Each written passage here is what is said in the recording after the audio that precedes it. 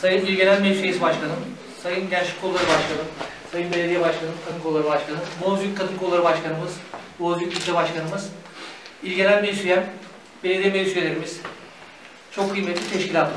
Hepiniz hoş geldiniz, sefalar getirdiniz. Tabii yeni il başkanımız e, sağ olsun bizi bugün ziyarete geldi. Bizi mutlu ettiler, onur ettiler. Allah yar yardımcısı olsun. Hep beraber inşallah önceki dönemlerdeki il başkanlarımızla, e, önceki dönem ilçe başkanlarımızla çalıştığımız gibi vekilimizle beraber, e, il başkanımızla beraber, bütün teşkilatlarımızla beraber inşallah en iyi yerlere taşıyacağız. Tabii biz bu zamana kadar teşkilatımız olarak e, Pazar İlçe Teşkilatı verilen görevi layıkıyla bu zamana kadar getirdik. Çok şükür ikinci dönem tekrar e, bize layık gördüler bu görevi. Teşkilatımla beraber yapılması gereken bütün görevleri en iyi şekilde yapacağımızı biz burada söz veriyoruz. İnşallah e, Cumhurbaşkanımıza layık bir ilçe teşkilatı, Cumhurbaşkanımıza layık bir il teşkilatı olarak hizmet edeceğiz. Herkese çok teşekkür ediyorum. Sağ olun, var olun. Hayırlı olsun başkanım. Hayırlı olsun. Çok değerli il başkanım, pazar yerimizin ve Bozüyü'müzün çok değerli ilçe başkanları, belediye başkanım, çok kıymetli il genel meclis başkanımız, kadın ve gençlik kolları başkanlarımız, her iki ilçemizin, il genel meclis üyelerimiz, partimizin her kademesindeki çok değerli kardeşlerim, öncelikle toplantımız hayırlara vesile olsun. Bu soğuk havada böyle teşrif ettiniz. İl başkanımızla bu akşam sizleri ziyaret etmek istedik. Tabii AK Parti çok köklü bir aile ve 18 yılı geride bırakan, başında bir dünya liderinin olduğu ve geride bıraktığı yıllarda da bu ülkede hayal denilen birçok hizmetleri gerçekleştirmeyi başaran bir kadronun temsil ettiği bir parti. Kimler geldi, kimler geçti. Bu yeni dönem içerisinde de yeni bir anlayışla, yeni bir heyecanla il başkanımız Serkan Bey'in başkanlığında, ilçe başkanlarımızla, belediye başkanlarımızla, kadın gençlik kolları başkanlarımızla, AK Parti'nin tüm gönüllü neferleriyle inşallah ilmek ilmek şehrimizin her noktasında hizmet ederek güzel bir örneği hep birlikte sergileyeceğiz. Serkan Bey tabi siyasette oldukça tecrübeli bu anlamda siyasi geçmişi partimizin kuruluşundan itibaren başlayan bir kardeşimiz. Onun da bu dönem içerisinde bu hassas süreçte bu önemli ve onurlu görevle e, görevlendirilmiş olması partimiz açısından da hepimiz açısından da oldukça güzel, olumlu. İnşallah geçmiş dönemdeki başkanlarımızdan almış olduğumuz bayrağı daha ileriye götürmenin çabası gayreti içerisinde olacağız. Arkadaşlar bu partide sen ben o yok. Biz varız. Geçmişte doğru yapılanlara alkışlıyoruz, duayla yad ediyoruz. Yanlış yapılanlardan dersimizi alıyoruz, konuşmuyoruz. Onların doğrusunu yapmak için hep birlikte buralardayız. Bunlara ilişkin olarak. Önümüzde 2023 hedeflerimiz var. 2023 sadece Türk milletinin değil, ümmetin geleceği noktasında çok önemli bir aylardan birisi daha. Sayın Cumhurbaşkanımızın AK Parti'mizin bu millete hizmet etmeye devam etmesi lazım. Onun için de alanda bizlerin önce aramızda kardeş olmamız, el ele gönül gönüle vermemiz, bu sinerjiyi, bu enerjiyi dalga dalga pazar yerinin, bileceği, Türkiye'nin her noktasına taşımamız gerekiyor. Onun için ne olur? Bardağın artık boş taraflarına bakmayalım. Dolu olan tarafa o kadar fazla ki AK Parti kadroları içerisinde. Dolu taraflarımız o kadar fazla ki hep diyorum 99 maddede hususta anlaşan insanlar anlaşamadıkları bir hususu ortaya çıkarıp onda kavga etmesi kadar abesle iştigal yok. Birlikte olan hususlarımızı ön plana çıkaracağız ve davamıza bu anlamda hizmet edeceğiz. Ben pazar yerinde öncelikle uyumlu çalışmalarınız sebebiyle ilçe teşkilatımıza, belediye başkanımıza hepinize ayrı ayrı teşekkür ediyorum. Biraz pandemi süreçleri sebebiyle diyaloglarımız, bazı hizmetlerimizde aksaklıklar olabilir ama tüm ilçelerimiz gibi pazar yerimiz de bizim göz bebeğimiz eksiklikleri, aksaklıkları inşallah en kısa süre içerisinde gidereceğiz. Önümüzdeki süreçlerde daha aktif olarak sıkıntıları gidereceğiz. Ee, biz yetkili arkadaşlarla devamlı diyalog halindeyiz, istişare halindeyiz.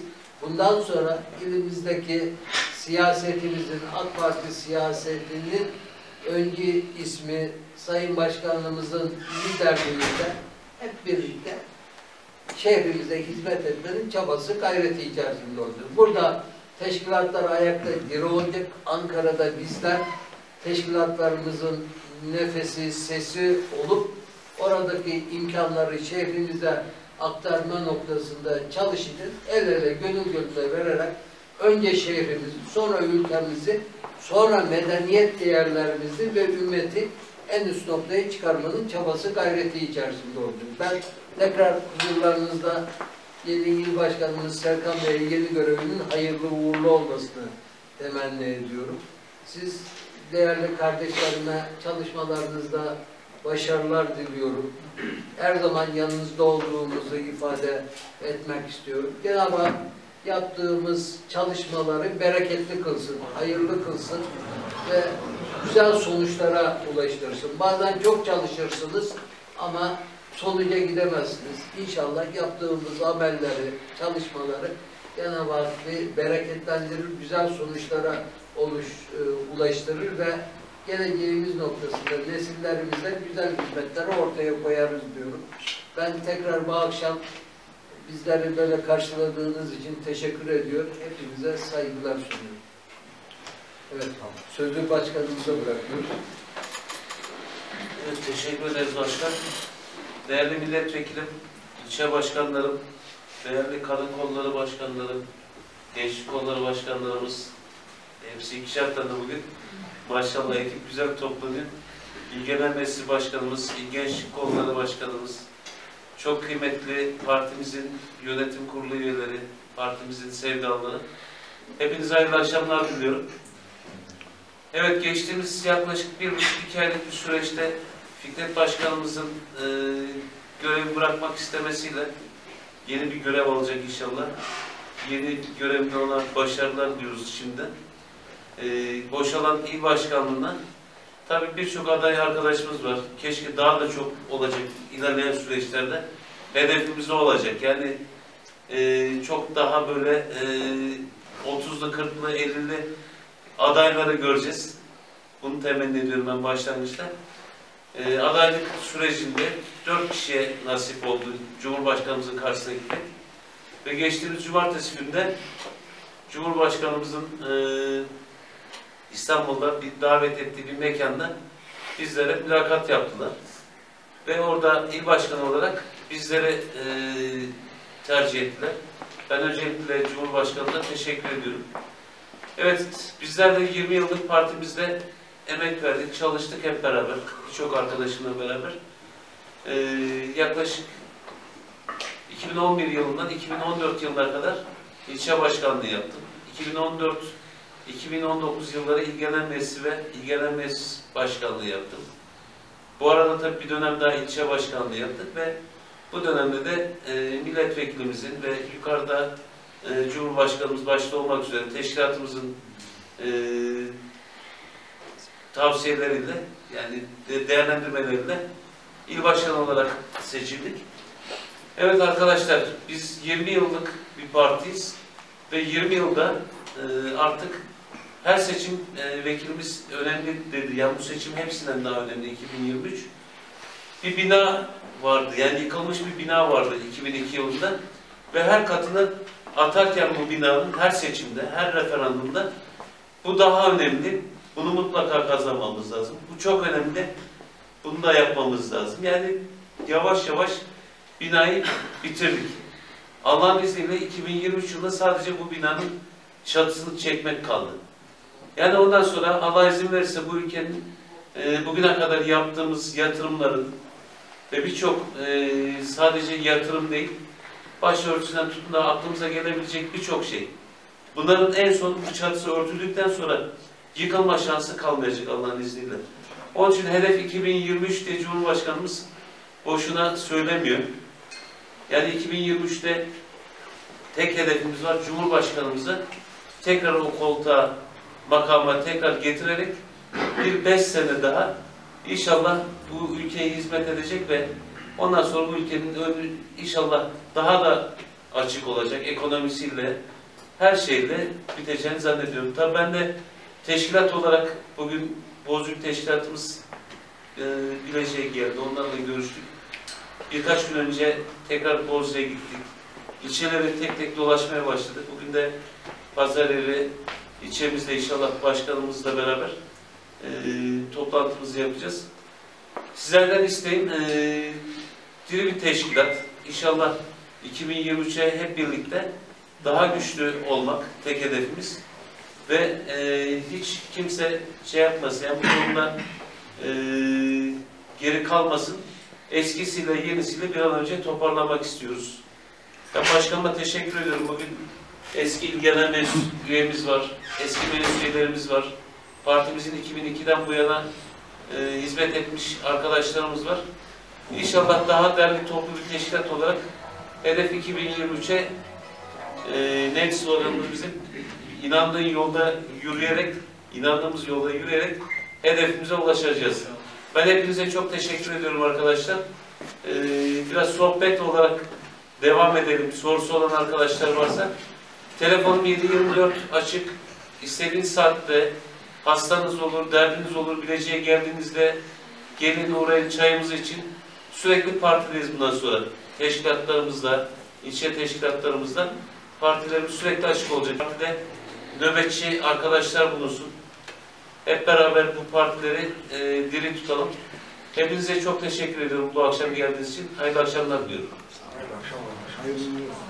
Bu arada Zeki Başkanıma da çok teşekkür ederim. Yani bakıyoruz bazen Graden tepesinde, bazen sokaklarda, bazen tarlada şalvanlı giymiş.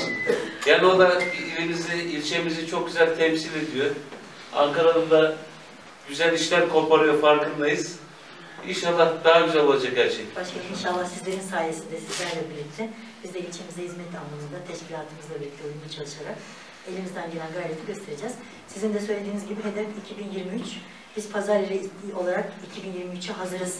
Şimdiden hazırız. Siz yeter ki bizimle birlikte olun. Bizi daha güçlü arkamızda, yanımızda, daha güçlü bir şekilde yanımızda olun. Biz bizim üstesinden gelemeyeceğimiz hiçbir iş yok Sayın. Yok başkanım. Evet. Yani ilimizde başta milletvekilimiz olmak üzere arkadaşlar. Bugün Ankara'da Nabi hocamızdan, Yalçın Akdoğan'ından, Fahrettin Poyraz'ından, Halil Eldemir'den yani o kadar güçlü bir ekibiz ki aslında bunu e, bu birlikteliği daha güçlü olarak hissettireceğiz bundan sonra e, vekilimizin bizlerin liderliğinde. Buna hep birlikte inanıyoruz. Yani bize olan e, bize gelecek taleplere her zaman açığız. Her zaman arayın. İstişare içinde olalım. Benim tek istediğim bu. Yani birlik beraberlik içinde olursak başkanın dediği gibi yapamayacağımız Bilecik'te hiçbir şey yok. Başkanım telefon numarası tane arkadaşlar var da söylerseniz. Söyle. İsmail abi nerede? Burada Yok. İsmail abi var. Hayır abi denemekten aramış. İsmail abi bugün de geldi. Burada burada. İsmail abi numaramı ver arkadaşlar. İsmail abi de sağ olsun geçen gün Bozüyük Teşkilat'ta toplantı yaptı. Ee, başkan dedi telefonla ulaşmak istiyordu inşallah dedi. Toplantı bitti gece eve gittim saat 10.30-11 falan da galiba değil mi abi? Test arabası yaptı. Test araması yaptı beni. Bana yabancı baktım İsmail abi var yani. Arkadaşlar bütün ilçe başkanlarımız için de söylüyorum. Zaten milletvekilimizin numarasını bilmeyen yok. Sürekli yani e, açık olsun telefonlarımız. Özellikle kimsenin telefonuna dönmemezlik etmeyin. Kim olursa olsun. Yani aradı, meşgulüz, toplantı halindeyiz. Şurada kaç kişi aradı? Beş kişi aradı örnek veriyorum. Gerekiyorsa gece olsun veya ertesi sabah olsun. Yani bunu mutlaka yapmalıyız. Yani milletvekilimizi kim arıyorsa ulaşabiliyor. Bizlere de ulaşacak, ilçe başkanı da aynı şekilde. Sağ olsun Zeki Başkan da aynı şekilde. Yani ne zaman mesaj atsak geri dönüyor, arasak telefonlarımız sürekli açılıyor. Yani bu sadece bizler için değil, sizler için de geçerli. Siz de yönetim kurulu üyesisiniz. Vatandaştan gelen talepleri partimize iletin, getirin.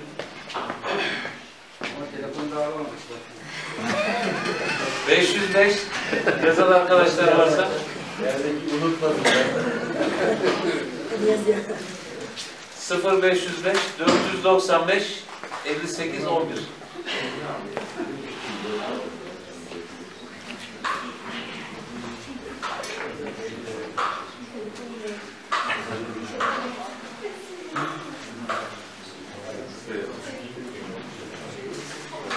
Evet.